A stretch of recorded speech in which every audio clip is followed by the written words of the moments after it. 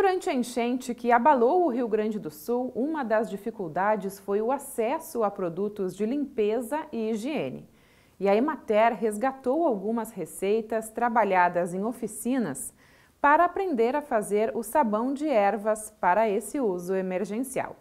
Vamos mostrar uma receita de sabão de ervas com Marcela e Carqueja que você também pode fazer.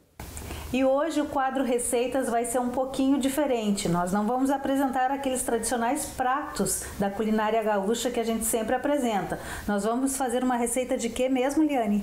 De sabão caseiro com carqueja e marcela. E quem vai fazer pra gente é a dona Idelvina, aqui de Morro do Tigre, em Glorinha. Dona Idelvina trabalha com plantas medicinais e outras coisas, né, dona Idelvina? Sim.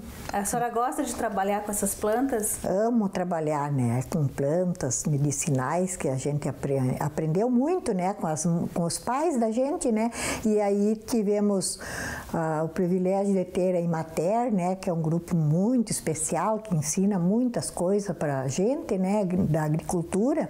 Isso é um muito bom para nós, né? Sim, no nosso grupo de mulheres a gente faz muitas atividades diversificadas, trabalhamos com plantas medicinais, segurança alimentar, artesanato, né, até os idosos, até as mulheres rurais, educação e promoção da saúde, enfim, é um, uma gama de atividades, né, sempre buscando o bem-estar e o aprendizado das nossas assistidas. Então vamos à receita agora, Eliane?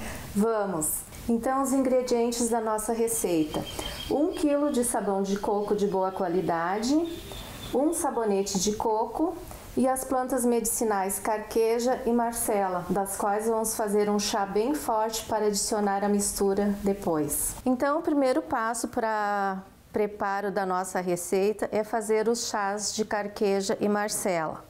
Então, vamos adicionar em torno de duas xícaras de água sobre cada planta medicinal para produzir o chá. A dona Idelvina vai me ajudar, vai colocar uma xícara sobre a carqueja e a outra xícara. O mesmo procedimento para o nosso chá de Marcela.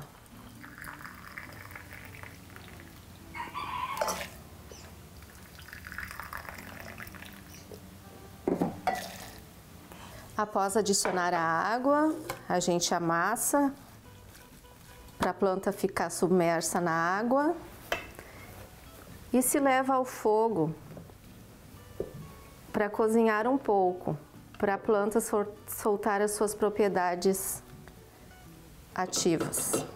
Vamos colocar a tampa para deixar ferver um pouco. Enquanto estamos preparando o chá, vamos ralar o sabão e o sabonete.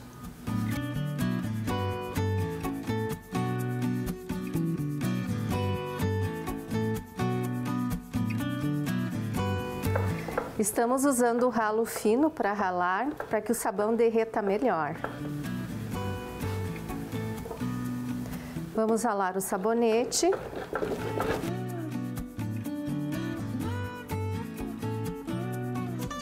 A função do sabonete nesta receita é quebrar um pouco da abrasividade do sabão. Essa receita ela foi uh, formatada pelo grupo de plantas bioativas do Regional Porto Alegre na época das enchentes que tivemos aqui no nosso estado, para que as pessoas de uma forma emergencial pudessem ter um produto uh, para usar na higiene das suas casas ou até mesmo para uso corporal, se necessário. Usando as plantas bioativas que têm os princípios né, de cicatrização, desinfecção, antissépticas e são anti-inflamatórias também. E esses produtos são facilmente encontrados no, no comércio, então fica um produto de fácil produção e as plantas usadas aqui, a carqueja e a marcela, elas podem ser substituídas por outras plantas, como a alecrim, a tansagem, a espinheira santa, a babosa, a calêndula. Use o que você tem na sua propriedade. Prontinho, vamos agora para a etapa seguinte da receita. Agora a próxima etapa da nossa receita é acrescentar os chás de carqueja e marcela ao sabão ralado. Vamos coar ele, vamos coar o chazinho para dar o sabão bem limpinho, né? Bem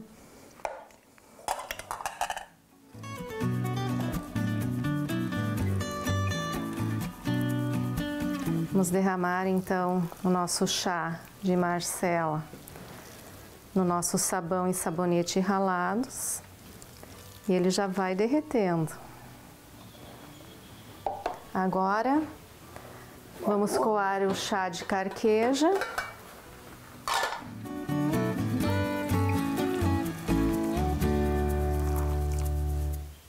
E misturar também ao nosso sabão. E agora vamos misturar bem e levar ao fogo para que o sabão derreta totalmente.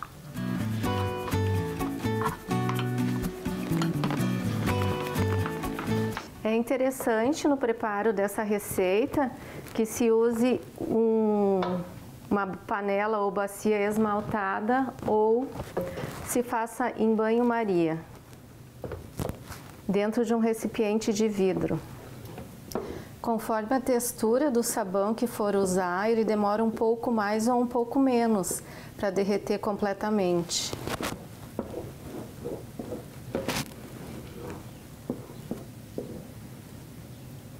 Olha, adquire uma cor muito bonita, né, em função dos chás.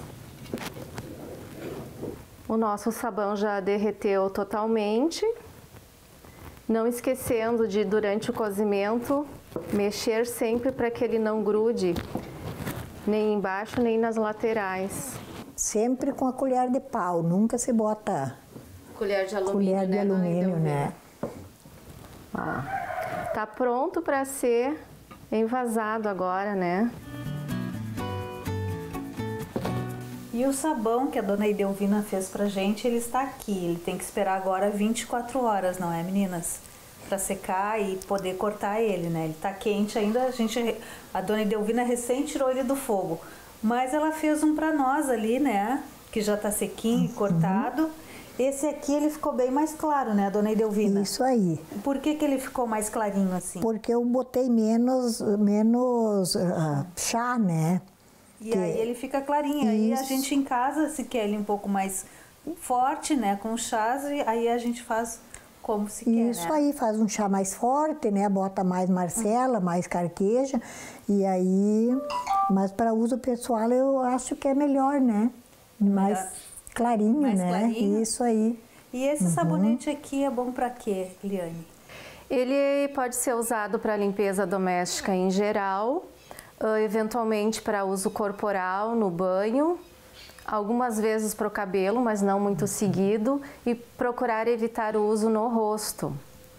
E ele pode, nós vamos embalar ele, né, para ele não perder a umidade e se conservar durante meses, né, para que possa ser usado, né, nas necessidades da casa e nas necessidades pessoais, se necessário. E essa aqui é só uma dica de uso, né, com a Marcela e com a carqueja, mas essa é uma receita básica que pode ser feita com várias outras plantas, não é? Sim, a gente pode trocar essas duas plantas bioativas por outras, né? Podemos usar o alecrim, a tansagem, a babosa, a espinheira santa, a calêndula também, que é muito boa para a pele, né? Enfim, usar o que se tem em casa, né, das plantas bioativas. Aí fica essa dica então de produto de limpeza, né? Uh, com essas plantas bioativas, uh, agregando os benefícios que elas podem nos trazer, né?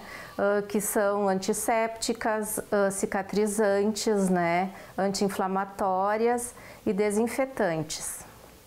Vamos experimentar então?